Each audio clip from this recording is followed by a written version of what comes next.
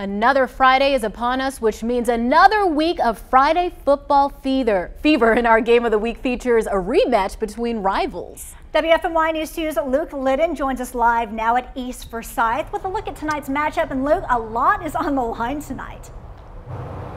Yeah, there's nothing like a Friday night rivalry, right? Glenn is coming into East Forsyth's house looking to get a regular season series sweep, but the Eagles aren't having any of that. In fact, if the Eagles win tonight, they will be crowned conference champs and one step closer to that three-peat, but we all know it's one step at a time. And uh, we know it's also about staying present in the moment and focusing on the task at hand, not what could be in the weeks ahead like a championship. The Eagles, they did lose to Glenn to kick off the season in a shutout, but they feel they are a much different team tonight and are better prepared to get a little bit of revenge.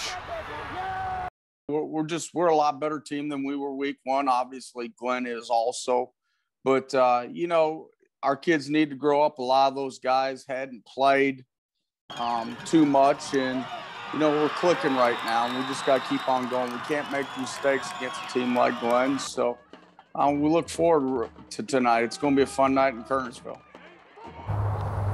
Oh, yes, it is. It's going to be a fun night indeed. We got a good rivalry on deck. Glenn facing off against East Forsyth. Kickoff set for 7 p.m. And as you'd expect, we'll have all the highlights later tonight on Friday Football Fever right here on WFMY News 2 at 11 o'clock. Hope to see you then.